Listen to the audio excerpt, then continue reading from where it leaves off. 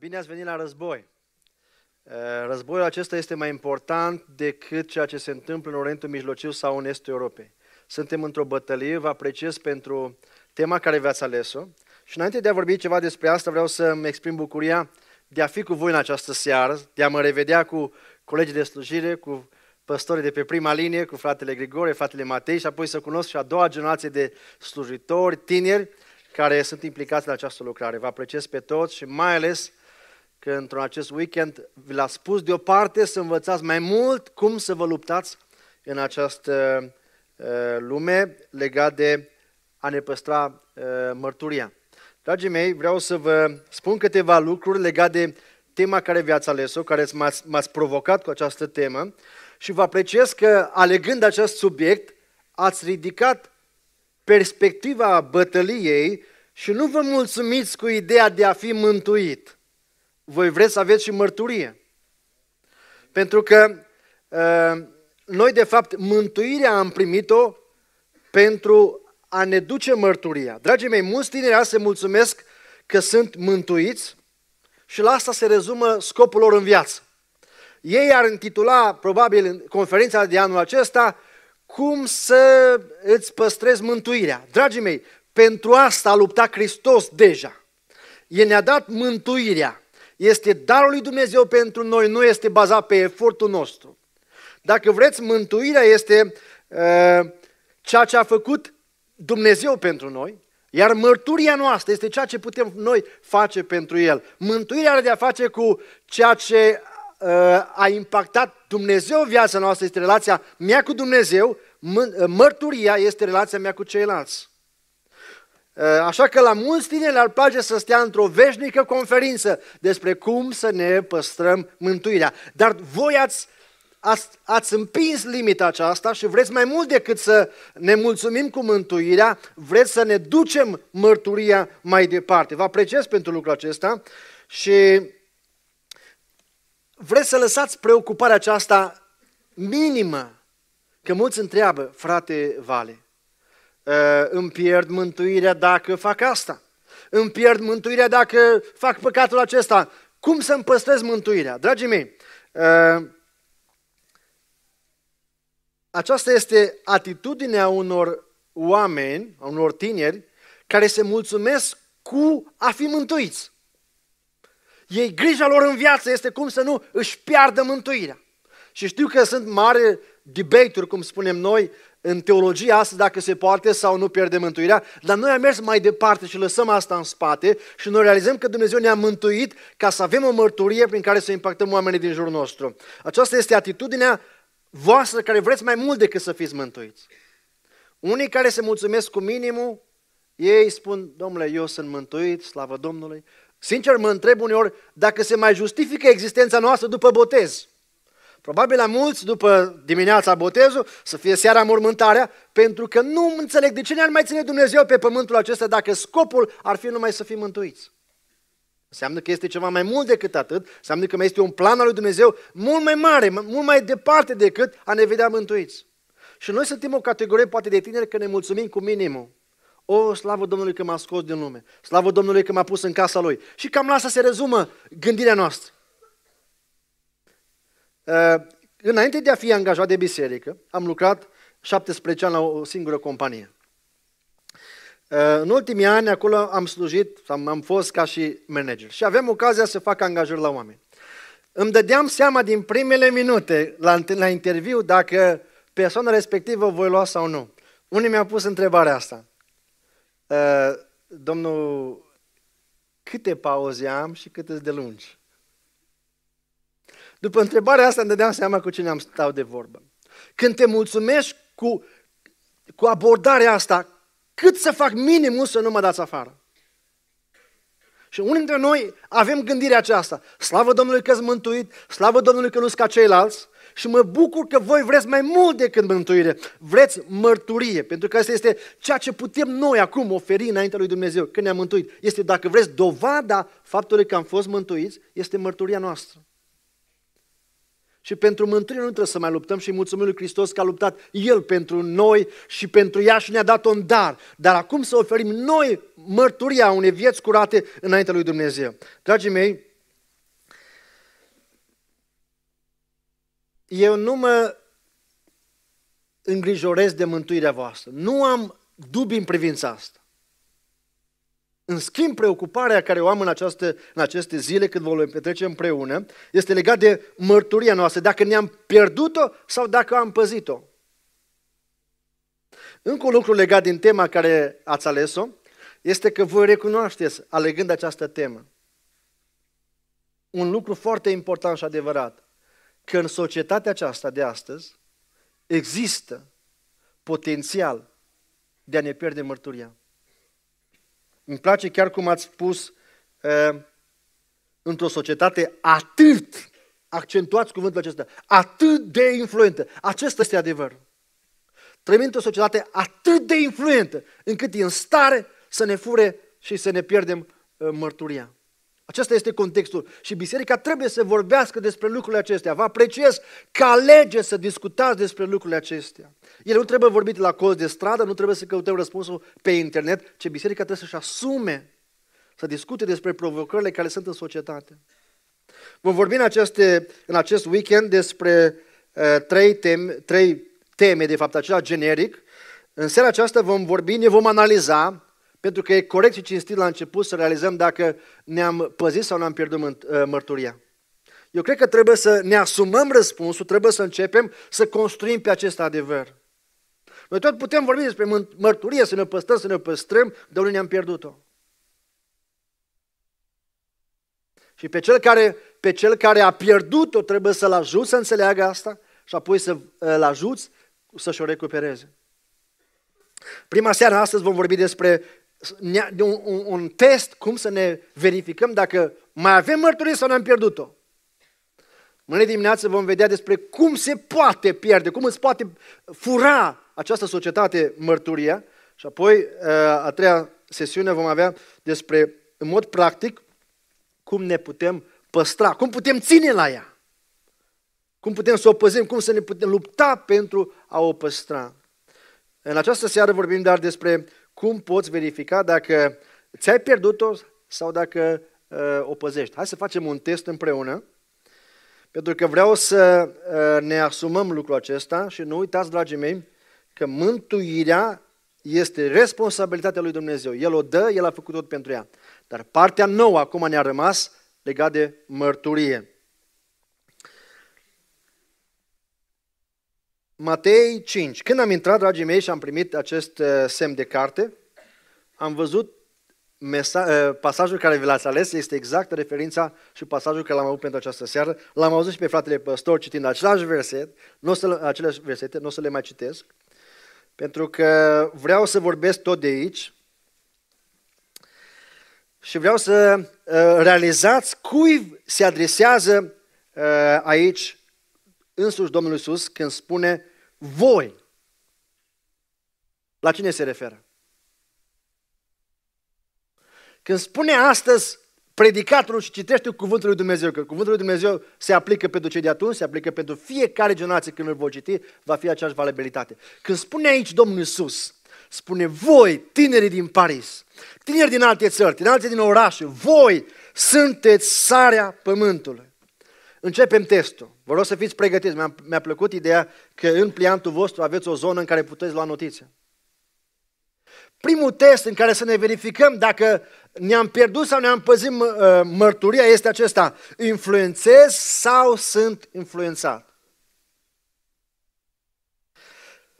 Sarea are această putere de a influența lucrurile, de a le schimba lucrurile. Știți că sarea schimbă mediul în care ea există. Și fratele păstor amintea câteva caracteristici ale sării și voi aminti și eu câteva dintre ele, pentru că în vechime când de aceea dospea, bucătare mai cu experiență, spune că puneau sare în ea ca să limiteze dospiala aceea o limita, o oprea. Acesta este uh, efectul în care sarea unde există, unde este prezentă, în mediul în care ea este pusă, ea influențează.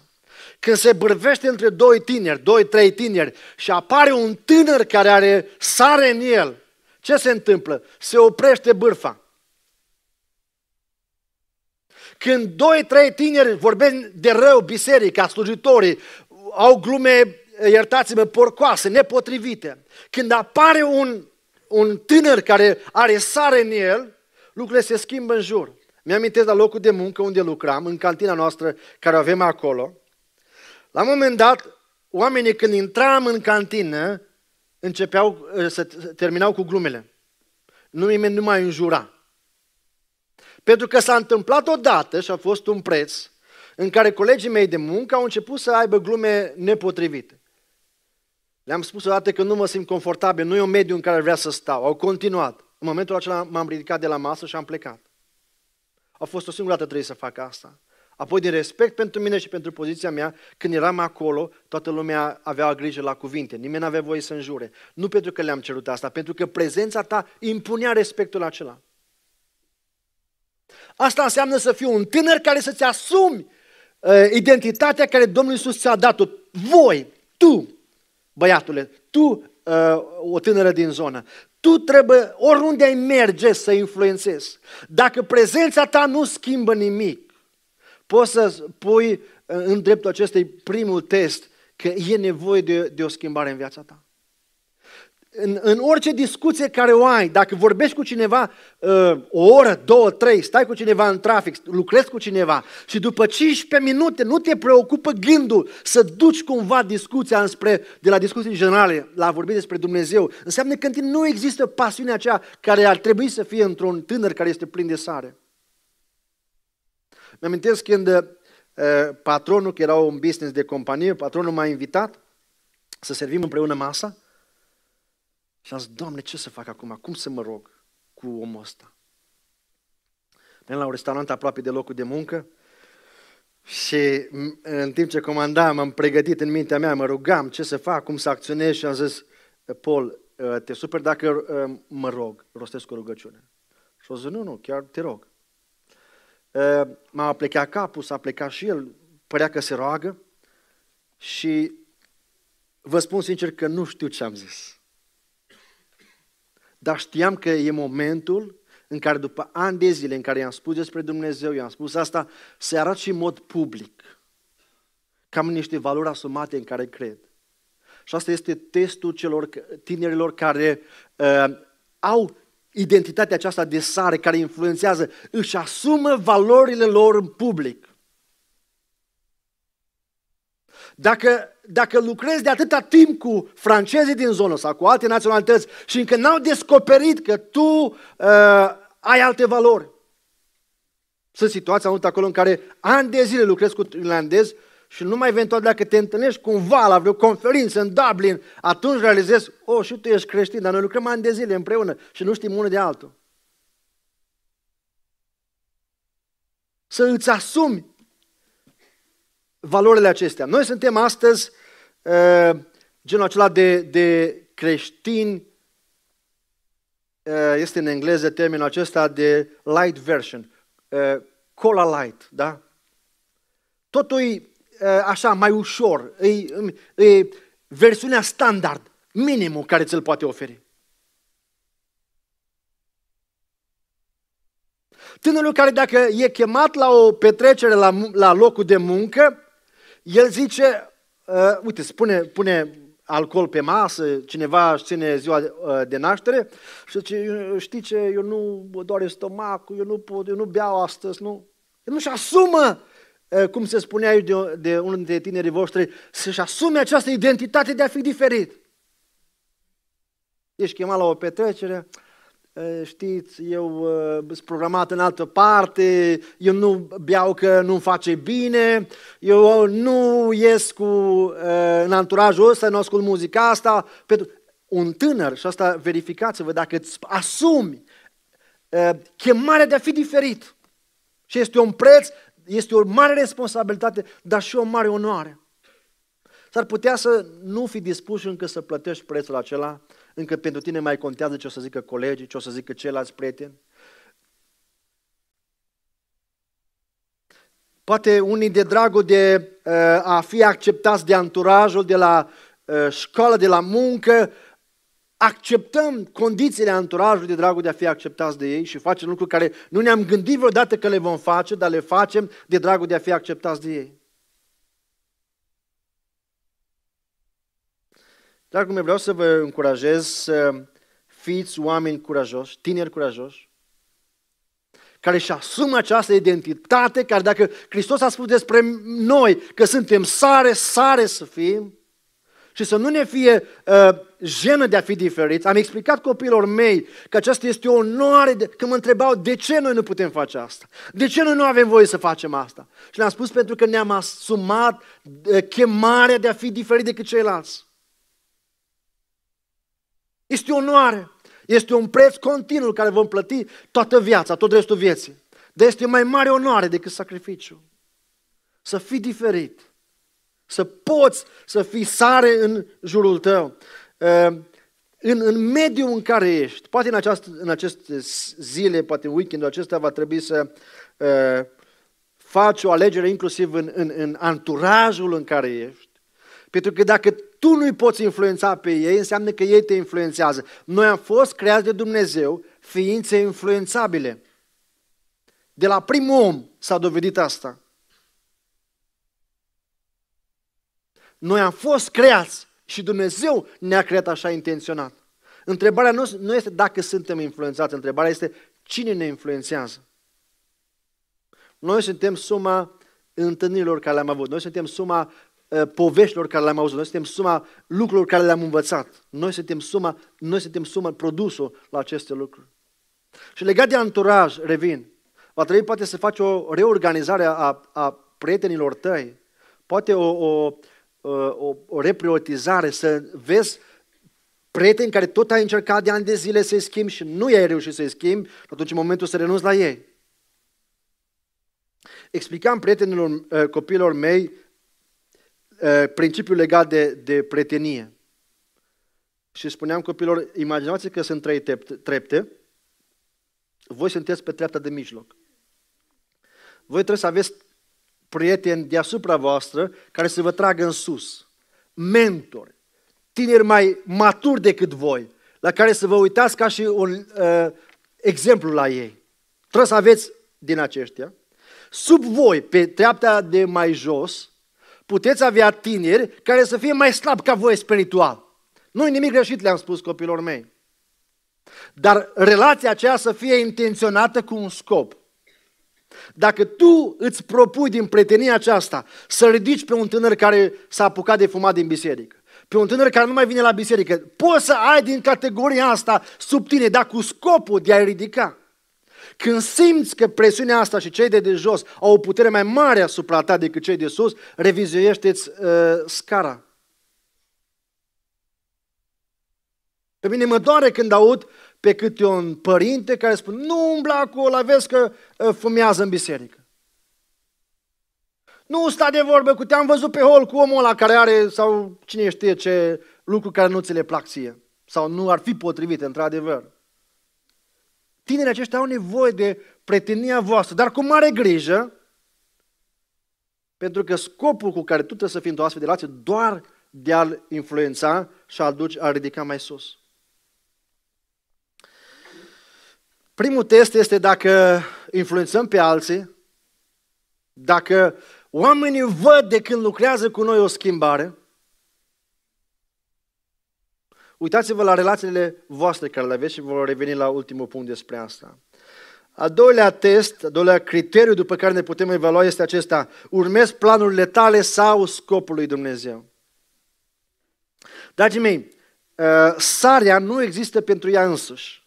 Sarea nu există, n-a fost uh, creată, realizată, a ajuns la procesul acesta de a fi o, o, o, această substanță chimică, doar că așa a vrut Dumnezeu să fie sare. Nu, nu. Ea are un scop. Dumnezeu a lăsat-o cu un scop. Ea nu-și caută gustul ei. Să nu e așa pentru că așa a vrut ea.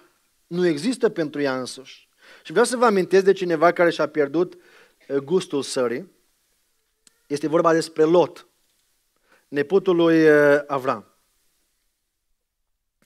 El când și-a ales ținuturile, și-a ales ținutul din uh, zona Sodomei, pentru că vrea să uh, fie, să beneficieze de bogăția acestei zone. Deși spune cuvântul lui Dumnezeu acolo în Geneza că erau oamenii foarte răi în acea zonă. Pe el nu l-a interesat. El a spus, știi ce, se câștigă bine acolo, acolo mă mut. Acum, diferența dintre Avram, care avea o mărturie curată, care și-a păstrat mărturia, care era sare în contextul acela, uitați diferența. Când uh, ținutul Sodomei este atacat, în Geneza 14, spune cuvântul lui Dumnezeu că Avram ia atitudine, își ia oamenii și uh, ajută în acest război. Aceasta a fost, dacă vreți, iar un sac de sare pe uh, zona. Împăratul Sodomei, ca și gest de prețuire, spune Avram, îți dau ce bogăție vrei tu. Îți dau cât vrei tu pentru gestul care l-ai făcut. Și știți ce spune Avram? Nu întrebă niciun fir de ață, nici o curea de încălțăminte de la tine. Iar iese sara din el. Dar Lot, care trebuia să fie el acolo să lupte, el trebuia să asume lucrurile acestea, Avram a făcut asta. Când doi, în Geneza 19, când doi îngeri vor să nimicească Sodoma, Avram mijlocește pentru uh, Sodoma și pune iară sare. Doar studiați aceste două caractere, aceste două personaje și veți vedea Lot și Avram. Un om care și-a pierdut gustul și un om care își păstrează gustul. Când un om cu, cu uh, mărturia pierdută îi se propune, sau când vede o amenințare, vă amintiți când a fost vizitat de îngeri și când oamenii băteau la poarta lui Lot, el a zis, stați, nu faceți urăciunea aceasta cu musafirii mei, vă dau două din fetele mele să păcătuiți cu ele, dar lăsați-să musafirii în pace. Oameni care își salvează mai degrabă pielea decât mărturia. Oameni care dispus să renunțe oricând la mărturie dacă simt că este o presiune pe ei, dacă este o, uh, sunt într-un anumit pericol. Să-ți pierzi mărturia chiar în fața propriilor copii, a familiei tale. Când uh, Dumnezeu a înștiințat că va fi nimicită Sodoma și Gomora, uh, Lot transmite mesajul copiilor, probabil erau gineri acolo, și când, când ginerii aud pe Lot spunând să ieșim că îi uh, urmează nenorocire, știți ce au făcut ginerii lui? Au râs. Au crezut că glumește. Să-ți pierzi mărturia în fața propriei tale familii. Cât ești de credibil, asta este o altă, dacă vreți, un alt criteriu după care îți poți verifica mărturia. Cât dau oamenii pe mărturia ta? Când tu spui că e un lucru, că e un lucru, că se întâmplă asta, câți dintre voi, cât ceilalți, din ceilalți cred că tu ești un om de cuvânt? Dacă ai spus un lucru, ai așa se întâmplă. Dacă ai spus că asta este, asta este. Dacă, uite, acum ai liniște aici. Dacă s-ar ridica unul dintre voi și a spune, foc, ieșiți afară. Ce ar zice celălalt din jur? Te-ar crede? Ar, lua, ar da greutate la cuvintele tale? Sau spune, uite, a început cu glumele. A început iară el cu show-ul lui. Care este greutatea cuvântului tău în, în, în, în jurul tău? Ce e mai important pentru tine, dragul meu, să-ți urmezi planurile tale sau scopul lui Dumnezeu? Când, când tu ești preocupat mai mult de planurile tale, de plăcerea ta și nu îți iei rolul care Dumnezeu ți l-a dat de sare, știi ce face Dumnezeu cu oamenii care nu-și asumă uh, rolul, chemarea de a fi sare? Dumnezeu face stâlpi din ei. Adică mai mult, dacă vreți, expoziție. Ajung de a fi stâlp de sare. Am învățat din cuvântul lui Dumnezeu că dacă tu nu îți iei rolul de sare, dacă nu te comporți ca și sare în jurul tău, ajungi un stâlp de sare, ca și soția lui Lot. Dumnezeu te-a pus în, în contextul în care te-a așezat. Dumnezeu l-a luat pe, pe Lot și l-a lăsat să aleagă chiar după criterii materiale. Dar Lot, este vremea să te trezești. Lot, ești de un an de zile, ți-ai, ți-ai luat uh, uh, casa ta, Lot. Acum ai casă și în România ți-ai pus, ai, acum ai, ai intrat la școală care ți-ai dorit-o, bine, ai terminat și școala aceea. Acum, Lot, e momentul să, să, să impactezi, să ai o mărturie pentru cei din jur. Și asta poate fi povestea noastră multora de aici. Am ales Franța, pentru că a fost printre cele mai dezvoltate țări din, din Europa. Dacă numai banii ne-au mai rămas, suntem cei mai săraci oameni. Dacă numai pentru bani suntem aici, dacă numai pentru o școală, dacă numai pentru condițiile acestea materiale, suntem cei mai săraci oameni. O sare cu gustul pierdut. Dumnezeu nu se supără că am venit pentru bani, dar se supără dacă după atâta timp noi credem că trebuie să mai stăm aici pentru bani și nu ne vedem chemarea care este mult mai mare decât uh, partea materială. Eu sunt convins că Dumnezeu nu a greșit cu nimeni care a ajuns în Franța. Eu sunt convins că Dumnezeu nu a dat cu zarul în dreptul vostru. Eu sunt convins că este un plan al lui Dumnezeu cu fiecare dintre voi aici. Întrebarea este dacă voi sunteți acum în Franța pentru planurile voastre sau pentru scopul lui Dumnezeu. Eu când am înțeles că în viață trebuie să caut în primul rând scopul lui Dumnezeu și nu planurile mele, viața mea s-a schimbat total. Nu mai are de-a face cu mine, nu se învârte tot în jurul meu, nu-i despre mine. Nu mai contează plăcerea mea, nu mai aleg după criteriile acestea. Eu nu mă pot muta într-o țară sau în alta în funcție de vreme. O, acolo plouă, acolo e soare, acolo se câștigă, aici e bine, acolo nu e bine. Nu mai e vorba despre mine în alegerile care le fac. Și atunci ajung să pun scopul lui Dumnezeu. Pentru că știu că oriunde Dumnezeu își mută un ambasador, Dumnezeu are un plan acolo, Dumnezeu are o intenție cu fiecare. De aceea e foarte important, dragii mei, să înțelegem că scopul lui Dumnezeu este prioritate și nu planurile mele. Dumnezeu te lasă o vreme în planurile tale, că știe că asta e nivelul în care tu îl poți înțelege pe Dumnezeu. Dumnezeu așteaptă după o vreme. Câți ani aveți în Franța? Când vom spune, ajunge, de ajuns, realizez, m-am trezit, este un plan mai mare decât a lua banii din, din țara aceasta. Este o chemare lui Dumnezeu, ne-a chemat să fim sare. Franța are nevoie de voi. Țara aceasta are nevoie de voi. Văd aici suficienți tineri, iertați-mă că spun așa, suficienți tineri încât să schimbe capitala asta. Poate o să ziceți că sunt, vorbesc nebunii. Eu chiar cred și nu cred că a văzut încă uh, orașul acesta. Ce poate face Dumnezeu cu o mână de tineri care își asumă această identitate nouă de a fi diferiți, de a lăsa pe Dumnezeu nu doar să-i mântuiască pe ei, ci prin mântuirea lor să impacteze cu mărturia viețile altor oameni. Oamenii caută, oamenii caută oameni tineri diferiți. Capitala aceasta este disperată să vadă tineri care trăiesc diferit, care să vadă tineri care trăiesc altfel. Asumați-vă asta. Nu e nicio împlinire să fiți ca ceilalți. Nu e nimic spectaculos acolo să fiți ca ceilalți. Să vă petreceți timpul ca ceilalți, să trăiți ca ceilalți, să vă îmbrăcați, să vorbiți, să gândiți ca ceilalți. Este onoare. Eu cred în puterea aceasta a unei, uh, unei tânări care își asumă identitatea de sară, de lumină. Cred mult în asta. Noi ne plângem foarte mult că rău propășește, că rău promovează, că rău înaintează. Și ajungem să credem mai mult în puterea răului decât în puterea care o are Hristos când tinerii își asumă această identitate nouă. Și mă doare când văd mai mulți oameni astăzi pe post de uh, termometru decât de termostat. Mulți, mulți doar citesc, spune, vai ce vremuri trăim, vai rău am ajuns, uite-te la țara aceasta, uite la capitala aceasta. Și noi suntem pe postul acesta de a citi vremea, de a citi uh, necazul care există, de a spune situația sumbră, în loc să fim termostat care schimbă temperatura. Dacă e cald în cameră, fă ceva să fie mai rece. Dacă e rece în cameră, fă ceva să fie mai cald. Asumă-ți rolul acesta că ai în tine potențial de a schimba lucrurile cu uh, puterea care ți-a dat Dumnezeu. Nu te desconsidera, nu te desconsidera. Nu spune, oh, eu sunt un simplu emigrant aici. Eu sunt un român. Eu sunt un simplu român care nu știu nici măcar câteva cuvinte în franceză. Nu subestima puterea lui Dumnezeu care o poate face. Nu-L face pe Dumnezeu responsabil pentru lipsa ta de impact. Dumnezeu iartă păcatul prin jertfa lui Hristos, dar nu iartă lenevia.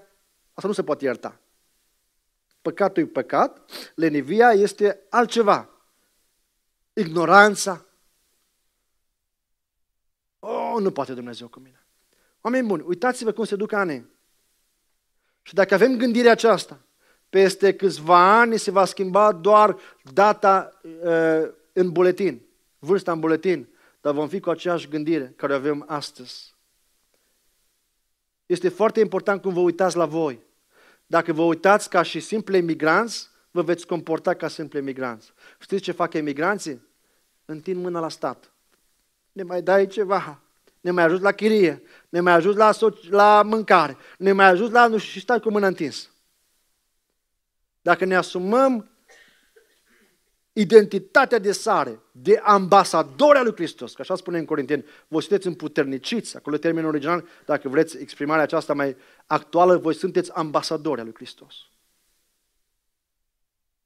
Și un ambasador nu-i rușine că reprezintă uh, uh, țara lui.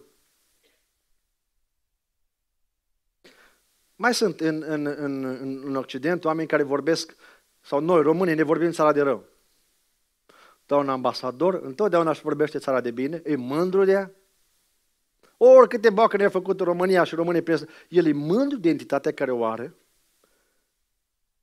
o, o, o reprezintă cu cinste, o vede onoare asta. Și când noi ne vedem ca ambasador al lui Hristos, vezi impactul care îl poți avea asupra oamenilor din jur. Așa că nu neglija ce a pus Dumnezeu în tine. Am văzut irlandezi care au venit la biserică pentru că lucrau cu români care nu știau engleză. Dar au făcut o lucrare de zugrăveală de calitate. Și când l-a chemat ă, la evangelizare, a venit. Pentru că l-a cinstit pe Dumnezeu cu o muncă de calitate. Să faci toate lucrurile ca pentru Domnul. Nu despre plăcerea mea. Noi când intrăm în casă la un om și uh, muncim în casă la el, îi punem parchet sau zugrăvit sau ce facem pe acolo, care e primul gând? Mă, cât pot să iau de la omul ăsta? Cât pot să stor de bani? Cât pot să-i dau? Asta înseamnă planurile mele. Când văd scopul lui Dumnezeu, când intru în casă la un om și muncesc, mă gândesc, Doamne, dă-mi mână. Vreau să spun despre tine. Vreau să-i vorbesc despre tine. Vreau să te reprezint. Vreau să vadă la final să mă întrebe. Numai un pic, vreau să te întreb ce cu tine? Tu ești diferit de muncitorii care au fost la mine. Să fii preocupat în toate lucrurile de scopul lui Dumnezeu. Ascultă-mă, numai așa vei putea fi împlinit în viață. Este o diferență, dragii mei, între a avea țeluri în viață și a avea scop în viață. Sunt multe țeluri, obiective bune, dar asta depinde de alții. Și vreau să vă dau câteva exemple. Un cel în viață poate fi să fii un uh, tată bun. Eu am avut țelul acesta și l-am în continuare. Dar dacă unul dintre copiii mei alege calea rebeliunii, visul meu s-a dus, s-a spulberat. Țelul meu, obiectivul meu s-a spulberat. De ce? Pentru că este un obiectiv, un cel, chiar dacă este bun, depinde de alții. Țelul meu a fost să fiu un slujitor ideal. La un moment dat am fost atât de naiv, am crezut că pot fi păstorul perfect. Până am realizat că încep să dezamăgesc pe oameni. Am dezamăgit pe fratele, pe sora, pe ăsta, mai mulți, mai mulți. Și pe timp ajung, realizez că dezamăgesc pe mulți. Și visul acesta la ei până auzi o poveste, două din biserică, a, și păstorul nostru e ca ceilalți. Și a nostru se compromite. Și a nostru nu știe ce vorbe. Și tot felul de lucruri. Tot timpul mai putea face ceva mai bine. Și visul meu s-a dus. N-am mai, am renunțat la ideea de păstor ideal. De ce? Pentru că a depins de o soră din biserică care a început să vorbească despre mine prin biserică sau despre un frate sau despre altceva. Și s-a dus visul meu. S-a dus țelul meu, s-a dus obiectivul meu. Și atunci am decis în viață să am țeluri că bune, dar să mă concentrez pe scopul lui Dumnezeu cu viața mea. Și scopul lui Dumnezeu este ceva ce nu depinde de alții. Care e unul dintre scopul lui Dumnezeu? Să reprezint pe Dumnezeu în lumea asta, să fiu sare și lumină. Să am caracterul după chipul și asemănarea Lui. Ei, cine te poate opri, opri să îndeplinești un astfel de scop? Nimeni. Și dacă v-ați apucat toți în seara asta să spuneți numai negativ despre mine, nu puteți afecta caracterul. Asta e parte frumoasă, că numai eu singur mi-l pot afecta. Numai eu îl pot murdări. Voi eventual îmi puteți murdări și afecta reputația, dar nu caracterul. Așa că concentrați-vă în viață pe scopul lui Dumnezeu, pe asemăn- a fi ca El, a gândi ca El, a trăi ca El. Și așa ne-a spus, uh, pune aici, într-o, într-o un pasaj din Noul Testament, că să trăim și noi cum a trăit Hristos. Bă, dar parcă e prea mult. Se poate un tânăr din Franța să trăiască cum a trăit Hristos? Eu spun să-ți faci obiectivul acesta. Să te de dimineață cu gândul acesta. Să pui piciorul jos din pat și spune, Doamne, până mă întorc la patul acesta, vreau să te reprezint pe tine. Vreau să fiu sare oriunde mă așez. Vreau să fiu lumină oriunde mă voi pune. Ei, nimeni nu te va putea împiedica să faci asta. Acum vreau să vă întreb, înainte de a merge mai departe, ne preocupă mai mult planurile noastre sau scopul lui Dumnezeu? Nu, n-ai cum să ai o mărturie fiind preocupat numai de tine și de planurile tale. Al treilea criteriu. Cauți mai mult harul sau gloria lui Dumnezeu? Dragii mei, continuăm să vorbim despre această trăsătură care, le are, care o are sarea. Când, când uh, căutăm mai mult harul, nu, nu știu, nu vreau să alegeri dintre ele, că avem nevoie de amândouă.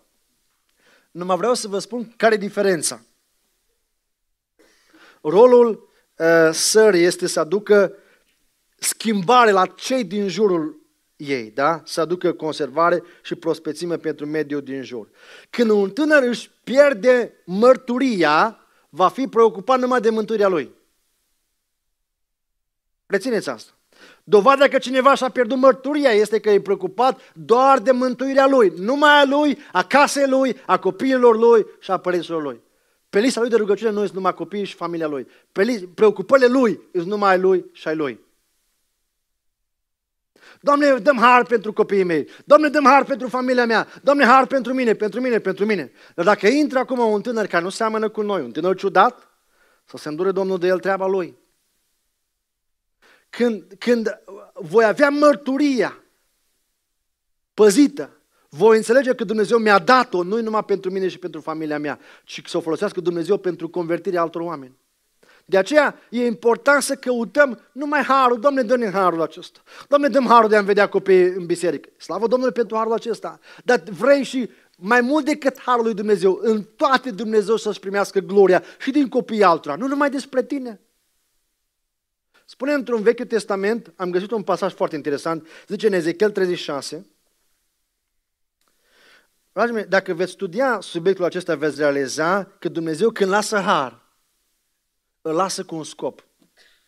Ca din harul care îl lasă, ți-l dă să-și primească gloria. Dumnezeu nu-ți dă har numai ca să ai tu har. Dumnezeu în tot ceea ce face urmărește gloria lui Dumnezeu. Nu pentru că e Dumnezeu egoist, nu, nu, pentru că El, el merită gloria. Nu pentru că o vrea, nu pentru că e egoist. Dar cui să o dea dacă nu lui? Să o dea omului gloria?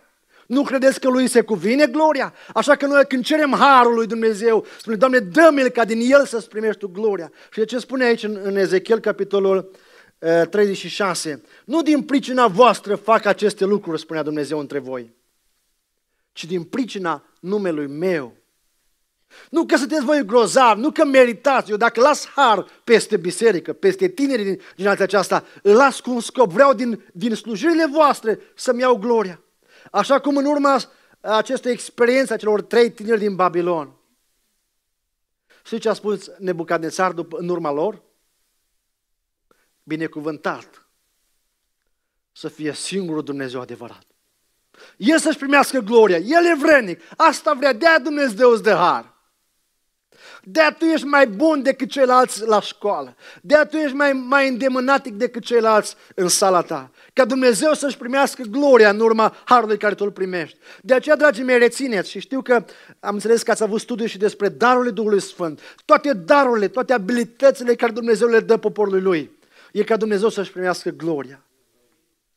Dacă tu ești mai bun la muncă, dacă ești mai înzestrat la școală, dacă ești mai frumos decât alții, dacă ești mai istez, dacă se învârte mintea mai repede, pentru că Dumnezeu are un scop. N-ar de face că tu ești mai frumos, că tu ești mai inteligent, că părinții au avut bani. Este un plan al lui Dumnezeu din care vrea să-și primească gloria.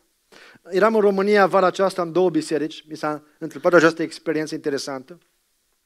Și vorbeam despre faptul, în, în, nou, în Vechiul Testament avem un pasaj undeva spune că Dumnezeu a dat abilități de a face unelte, instrumente cuiva și Dumnezeu întotdeauna urmărește că atunci când îți dă un dar, o abilitate, să fie în folosul împărăției Lui. Și spuneam într-o biserică în România, nu-i dau numele aici, sau orașul, spunea, poate ești un contabil aici. Dar biserica nu beneficiază de aceste abilități lăsate de Dumnezeu în, în viața ta. După biserică, vine un pastor cu un confrate și zice, uite, fratele ăsta, primăria vrea să lucreze pentru el. Și noi i-am propus să lucreze să ne ajute și pe noi. Și întreb, și dumneavoastră ce a spus? Azi nu cred că mai am timp să ajut biserica. Dar astăzi m-am decis să-mi schimb gândirea.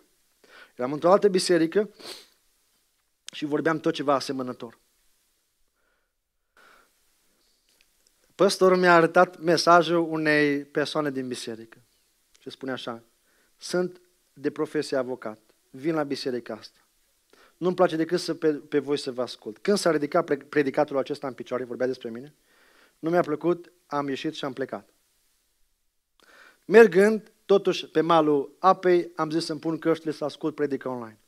Și spunea așa, m-a captat, m-a prins, am ascultat predica până la capăt. Vreau să mă ofer serviciile mele pentru biserică și lucrarea lui Dumnezeu. Când înțelegi că tot ce primești de la Dumnezeu nu e despre tine, nu să te dai tu mai mare decât ceilalți, ci ca Dumnezeu în primul rând să beneficieze. Dumnezeu nu ți-a dat, întreabă-te, de ce câștigi tu mai mult în perioada asta? N-are de-a face că ești mai isteț, n-are de-a face că ai fost promovat. De ce Dumnezeu îți dă? Și nu vreau să rămân mult la, la subiectul acesta. Te rog, înțelege lucrul acesta, dragul meu tânăr. Dumnezeu este preocupat să-și primească gloria și tu trebuie să te concentrezi mai mult pe asta decât pe harul. Doamne, dăm harul să intru la școala asta. Doamne, dăm harul să pot munci. Doamne, dăm harul să primesc acte. Dăm de harul, Doamne, dăm harul, dăm harul. Dumnezeu îți dă har. Dar un tânăr care are gândirea aceasta legat de mărturia lui zice, nu, nu, nu. Eu nu fac asta pentru mine, nu fac asta numai să am har, eu fac asta ca Dumnezeu să-și primească gloria în urma mărturiei mele. Asta trebuie să fie preocuparea noastră, dragii mei. Și vă rog, evaluați-vă dacă până acum ne-a interesat lucrul acesta. Sau numai, Doamne, dăm har, dăm har. Dumnezeu, dragii mei, ne iubește pe noi. Dar eu când spun că Dumnezeu mă iubește pe mine, fiindcă atât de mult m-a iubit Dumnezeu pe mine. Obiectul credinței mele cine este? Atât de mult a iubit Dumnezeu pe cine? Pe mine. Încât a dat pe singurul său fiu pentru cine? Pentru mine.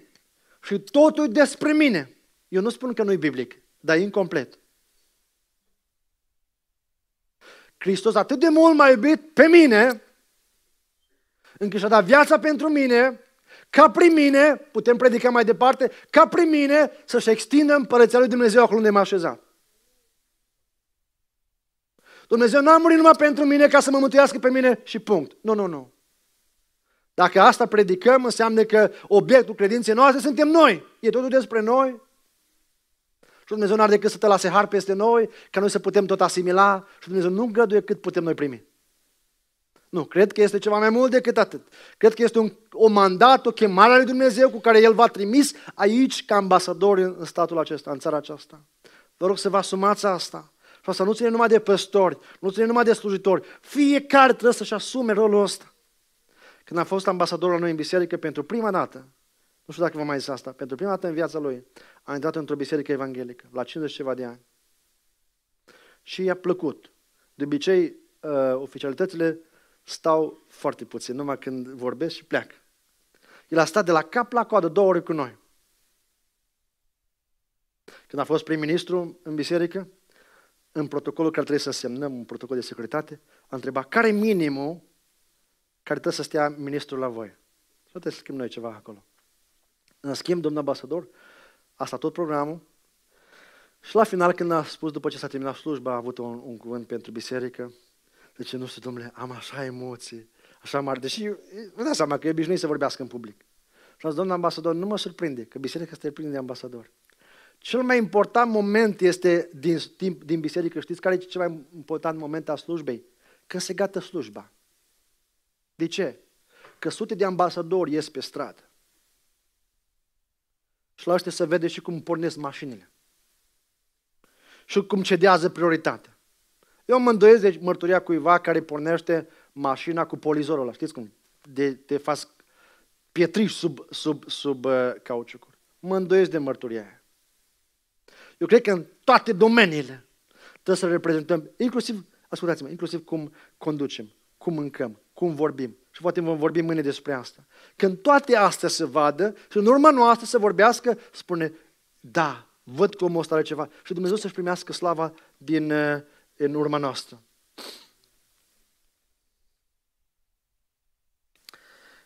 Tinerii de astăzi care nu mai au mărturie sunt concentrat numai despre ei. Ei ar merge într-o biserică în care să nu li se ceară nimic. Aleg o biserică în care să nu li se pune vreun sacrificiu. Avem musafiri? Venim și noi. E de strâns scaune? Am tuns-o. E ceva de făcut? Oh, îs busy, îs ocupat, trebuie să mă duc, am altceva de făcut. Și oamenii caută mult despre ei, mult despre ei. Foarte mult astăzi în creștinismul ăsta, umanist de astăzi, e mult despre noi. Să ne placă nouă, să ne ungă pe noi. Nu avem la, la Bihor vorba asta, frate, te rog cântarea asta, că așa mă unge la suflet. Domnule, să ne ungă pe noi, să fie despre noi cât mai mult. Dar în toate Dumnezeu vrea să-și primească gloria. E cel mai important lucru. Nu despre noi, că ne place nouă. Și noi astăzi mai nou am mers în cealaltă extremă, în care acum toată slujba trebuie să fie despre sentimentele noastre. A fost har la biserică, spune. A fost har. De ce? Așa bine m-am simțit. Noi în asta evaluăm harul lui Dumnezeu, după cât de bine s-au simțit sentimentele noastre. Dumnezeu nu asta vrea. În primul rând, El este preocupat de gloria lui Dumnezeu, nu pentru că este egoist. El iubește omul, dar nu-și împarte slava cu el. I-a dat orice, l-a dat ceva mai scump, i-a dat pe fiul lui. L-a dat nouă, dar nu-și dă slava, gloria. Nu, că omul nu poate duce, nu-i pentru asta, n-a fost creat pentru asta. Ce ne preocupă cel mai mult, dragii mei? Să primim noi, să beneficiem noi, să fie doar despre noi, sau să te dispuși să, să, să slujim pe alții, să fim mărturie pentru alții, ca în urma vieții noastre Dumnezeu să-și primească gloria. Al patrulea criteriu. Ce se te produci în cei din jur? Știți că setea produce, uh, sarea produce sete, da? de în anumite localuri se pun, inclusiv pe gratis, alune sărate acolo. De ce? Că să tot comanzi pe apă și pe băuturi. Este o strategie comercială și aici. Setea, uh, sarea produce sete. Asta e una dintre trăsăturile caracteristice sării. Produce sete. Acum întrebarea mea este, e un criteriu de evaluare. Ce sete produci la cei din jurul tău? Este al patrulea criteriu pe care ne putem verifica. Ce sete produci în cei din jur? După ce alți tineri stau de vorbă o oră cu tine, ai fost în trafic o oră, cu cineva, ai lucrat 8 ore cu cineva, ești colegă de școală, coleg de muncă cu cineva. Ce ai produs? Ce spune un om după ce a stat de vorbă un pic cu tine? Sau mai multe perioade. Vă dau câteva exemple. Sunt tineri care zice, uite, am, stat de, am lucrat cu el astăzi. Mă, m-a, determinat tânărul ăsta. Mă, mă apuc de sală. Mă apuc de sală și eu. De ce? Păi mi-a, mi spus ce, ce bine e, ce avantaje ai, ce... Și l-am încercat, așa vorbea cu pasiune despre mușchii lui, încât celălalt a zis, o mă apuc și eu. Alții a spus, o altă fată a zis, ok, eu mă apuc de dietă. Uite-mă ce a slăbit fata aia. Nu vine să cred, am stat 15 minute cu ea, deci m-a cucerit, m-a determinat să mă apuc și eu de dietă. Altul a spune, uite, m-am stat de vorbă cu el, bă, ceva a prins în mine așa o dorință de a face business, mă, mă apuc, vreau să investesc în bursă. Ce spun tinerii după ce pleci tu de acolo și întrebi pe cineva, uite, ai, ai muncit astăzi cu el, ce gust ți-a lăsat? Ce a produs în tine? Ce influență? Ce sete? Ce ai stârnit în tinerii cu care ai stat? Gândește-te la asta, fă mai mult decât atât. Fă intenționat asta. Când te gândești, Doamne, poate mi-l dai numai 15 minute în viața mea, poate ai un client nou unde lucrez. Și poate zici, Doamne, poate numai o singură dată mă întâlnesc cu el. Ajută-mă să fiu o influență bună pentru el, inclusiv la muncă. Vă spun un secret. Și la muncă, tânărul nu sare de la muncă. Sare la muncă. Nu fugi de muncă, da? E și acolo mărturie. Oh, e, dragii mei, e nebiblic inclusiv atitudinea asta. Zicem noi, englezii, it's not my job. Și trimite câte un patron pe un tânăr din biserică, du-te și fă aia. Nu, nu, asta nu e jobul meu. Dragii mei, eu am găsit în Cuvântul lui Dumnezeu că Biblia ne învață cum să fim o mărturie inclusiv la locul de muncă. Și spune într-o altă parte, ca să nu întoarcem vorba patronului. Na, asta e o problemă. Trăim într-o țară liberă în care poți să spui, nu, mâine nu mai vin. O multe ar fi de, de vorbit și despre pe tema asta. Dar ce vreau să subliniez cu asta și merg mai departe, uh, noi, în cei care stăm în jurul lor, trebuie să producem o sete. Și asta e un test, acum verifică în seara asta, ce sete produci în cei din jurul tău. Ce spun tinerii, colegii de școală, de muncă, cei care au stat cu tine de vorbă. Al cincilea criteriu este o zonă de compromis în viața ta. Este o zonă în care eh, știi că ceva trebuie să se schimbe. Poate, te, poate tu ești, stai bine la capitolul droguri, o, tu stai cu fruntea sus. Înjurături, tu stai cu fruntea sus. Când se vorbește despre uh, curvie, tu stai cu fruntea sus și ești un tânăr curat. Slavă Domnului pentru asta. Dar este o altă zonă în viața ta în care există un compromis pentru că s-ar putea, dacă este un compromis într-o zonă neștiută, să fie doar chestiune de timp, până lucrul acela te va afecta în public. Cu diavolul întotdeauna mergi mai departe decât îți propui. Dacă este o zonă de compromis în viața ta și numai tu poți să știi asta, este momentul bun să nu te compari cu alții și să spun, o, eu n-am problema lui cu, eu n-am problemă cu drogurile, eu n-am problemă, eu vin la biserică, eu mai și slujesc, eu mă țin de biserică, eu slavă Domnului că vin tot timpul regulat, dar ai tu în viața ta un șarpe ascuns pe care îl hrănești. Ai grijă, dragul meu, și îți spun asta din partea Domnului această conferință, șarpele acela, dacă nu, nu, nu-l omori, te va omori. Nu lăsa niciun mic compromis. Fii interesat de a cunoaște voia lui Dumnezeu în cele mai mici detalii. Eu, eu câteodată mă, mă, mă supăr când aud tineri că sunt interesați de voia lui Dumnezeu, numai când e vorba de căsătorie. Ei întreabă pe Domnul la căsătorie. Dar nu întreabă pe Domnul dacă e voie să copieze sau nu la școală. Ei vor să știe unde vrea Dumnezeu să-i trimită. Ce vrea Dumnezeu, ce plan vrea Dumnezeu peste 10 ani. Dar ei nu sunt interesați cum să muncească astăzi, cum să fie cinstit astăzi, cum să fie model astăzi, cum să fie mărturie astăzi.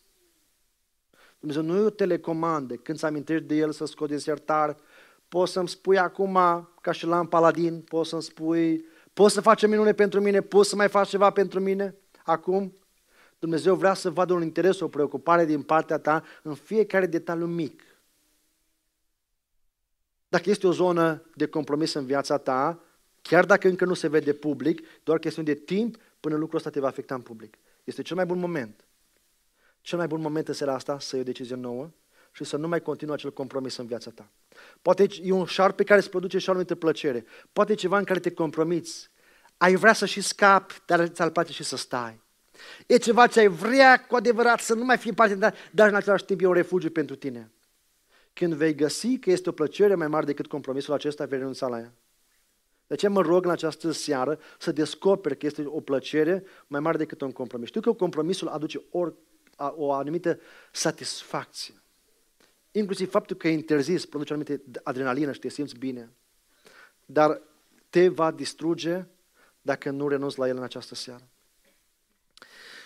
Și ultimul criteriu, cum sunt relațiile cu ceilalți? La Marcu, capitolul 9, un verset foarte interesant. Vreau deschideți acolo.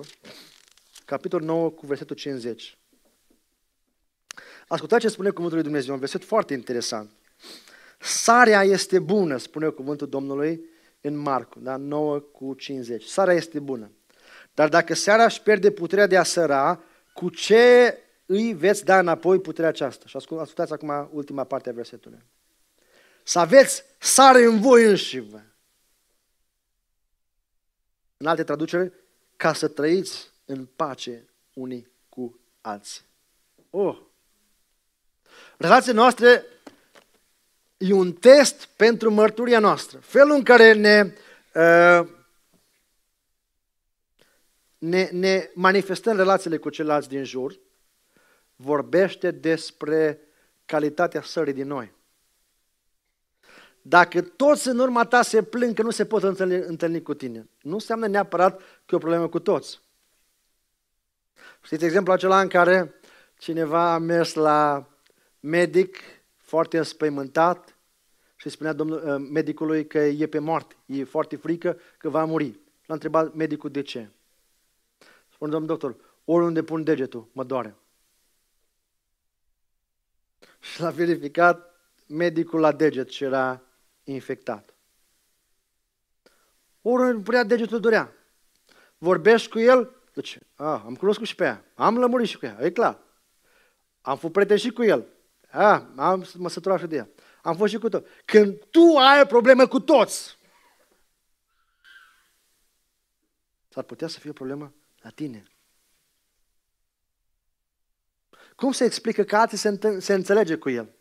Și mai ales, e atât de important mărturia noastră în relațiile care le avem cu cei din jur. Un, un tânăr care este plin de sare știe să cedeze. Dacă cineva i-a afectat reputația, nu face scandal, sună liderul de tineret. Auzi ce auzi de mine? Nu, el lasă liniștit, doar liniștit că Dumnezeu se luptă pentru reputația lui. O, o, o, o fată care așa, a, m-am săturat. Toți băieții, o să zică, toți ăștia la fel. Toți sunt la fel. Toți sunt aceeași apă și în pământ.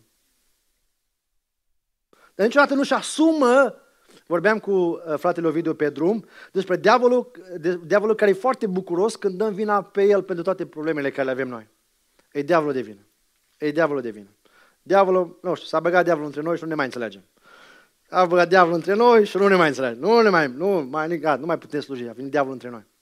Diavolul îi place. Deci dați pe mine toată vina, Că atunci nu, nu voi, voi nu vă mai asumați responsabilitatea pentru tensiunea dintre voi. Te liniștit că diavolul de vină. Tu nu poți schimba ceva ce nu-ți asumi.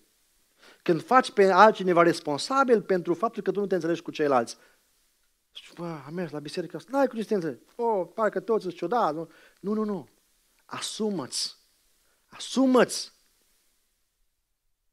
dacă nimeni nu se poate înțelege cu tine, înseamnă că tu ai o problemă. Nu știu, mergi acolo, nimeni nu vorbește cu tine, parcă stai așa izolat și nu te abordează. Fii și tu mai sociabil, deschideți inima. Nu nimeni obligat, nu nimeni plătit să meargă să te abordeze, să te scoată din uh, starea ta posomorâtă și să te distreze și să... Asumați! Ești pus de Dumnezeu într-un loc în care tu ai nevoie de alții, alții au nevoie de tine. Nu te mai scuza că așa ești tu, că ești, ești un așa retrage, eu nu vorbesc cu nimeni, mi-mi place să stau mai după stâlp nu e despre tine numai. Tu să ai relații cu, am fost creați, alții au nevoie de tine. Tu ai ce n-au alții. Biserica asta, lucrează de tineret, are nevoie de tine. Nu te mai tot scuza că trebuie să stai în spate, că tu nu poți să faci nu știu ce lucruri mari. În toate relațiile care le avem cu noi, în felul în care răspundem la provocări când suntem provocați. Un tânăr care are mărturie bună se vede și când joacă fotbal. Nu știu dacă voi ieșiți undeva, poate mai jucați, câte nu știu, undeva împreună, uh, ceva activități sportive, se vede. Un tânăr care are mărturie se vede cum știe să piardă. El știe că nu se joacă soarta vieții acolo. El știe că e ocazie și când, și când pierzi, arată altuia cum trebuie să te comporți când pierzi. Că tu nu ți la reputație, că pentru tine e mai important să simte bine celălalt decât golul tău. Fii preocupat întotdeauna. Asta este un, un principiu biblic. Întotdeauna. Când stai cu cineva de vorbă, persoana din fața ta este cea mai importantă persoană. Nu fiți atât de preocupați de voi numai. De aceea avem probleme și între tineri, probleme și în familie. Că nu ne concentrăm în, în orice relație, deschid aici o paranteză, în orice relație avem uh, responsabilități și drepturi. În familie, de exemplu, am dreptul de a fi respectat, am dreptul de a fi cinstit, am dreptul, am dreptul.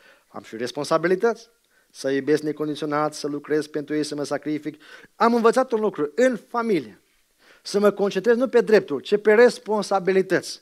Și atunci nu ajung niciodată dezamăgit. La fel fac în slujire. Eu știu care sunt responsabilitățile mele. În slujire n-am drepturi. Mă concentrez numai pe responsabilități și atunci nu mai sunt... Întotdeauna, dragii mei, noi, noi trebuie să fim preocupați de caracterul nostru și de nevoile celorlalți. Dar noi facem parcă invers. Ne concentrăm pe nevoile noastre și pe caracterul celălalt. Să mi se împlinească mie nevoia și acuzăm caracterul celălalt. Faceți invers de acum. Concentrați-vă pe caracterul vostru, țineți la el, nimeni nu vi-l poate afecta în afară de voi și apoi, dacă se poate, concentrați-vă pe nevoile altora. Dragii mei, dacă în această seară la testul acesta este cineva care a spus, bun, dacă am trecut prin lista asta, îmi dau seama că sunt lucruri la care uh, am căzut.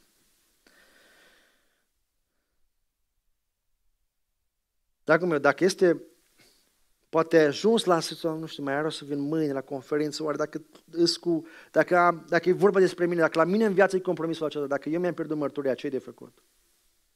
Vreau să vă încurajez să înțelegeți un lucru, că cel mai important lucru să ne asumăm uh, această realitate și pe asta să construim. Hristos este expert. Îi place. Pentru asta a venit pe pământ.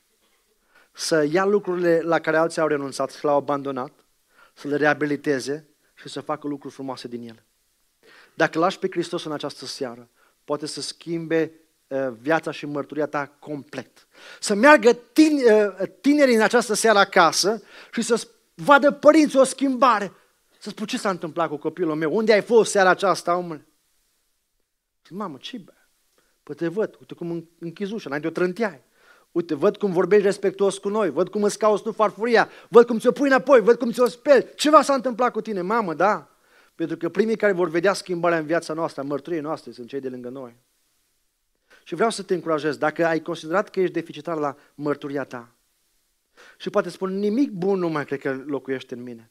Dacă spui, nu sunt nimic, nu bun de nimic, poate nu sunt ca alți tineri, poate alții au mărturie bună, eu mi-am pierdut-o. Vreau să te încurajez că ești materialul bun, perfect, cu care Dumnezeu poate lucra. Dumnezeu este expert în a face lucrurile din nimic. Spune cuvântul Dumnezeu că a făcut uh, pământul din nimic, în ebraică din bara. A făcut din nimic. Este materia potrivită, perfectă. Dacă ajungi la concluzia că ești bun de nimic, ești numai bun ca Dumnezeu să te prelucreze și să facă ceva pentru gloria Lui.